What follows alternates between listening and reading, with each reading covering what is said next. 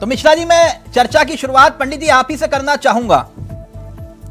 अक्सर आपके जो तीर होते हैं वो लगभग निशाने पर होते हैं।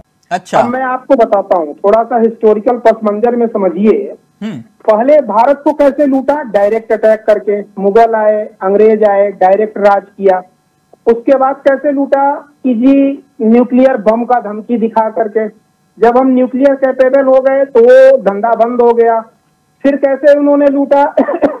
कोरोना यानी बायोलॉजिकल वॉर ठीक है? उसके बाद साइबर अटैक ये सारी टेक्निक है किसी कंट्री को जीतने का। और अब ये नई टेक्निक आई है जब सारी टेक्निक सारे हथकंडे इनके फेल हो गए तब ये इकोनॉमिक वॉरफेयर इन्होंने छेड़ा है। तो ये मेरा ओवरऑल परसेप्शन है। अब टेक्निकल बैकग्राउंड पे अगर आप मिश्रा बात जी करना मिश्रा जी चाहते मिश्रा हैं जी तो मैं मिश्रा जी मिश्रा जी आप ये कह रहे हैं साजिश है हिंदुस्तान के खिलाफ। थाउज़ेंड परसेंट हिंदुस्तान के खिलाफ एक उभरती हुई इकोनॉमी के खिलाफ देखिए 2022 में एक रिपोर्ट आई कि भारत की कंपनियाँ मतलब दुनिया में जो सबसे रिच कंपनी है वेल्दी कंपनी है हम्म। इनकी रैंकिंग फिफ्थ हो गई। ये नवंबर या दिसंबर में रिपोर्ट 2022 में आई थी। और उसके बाद से खेल शुरू हो गया। तो जरा खेल समझिए ना क्या क्या हो रहा है।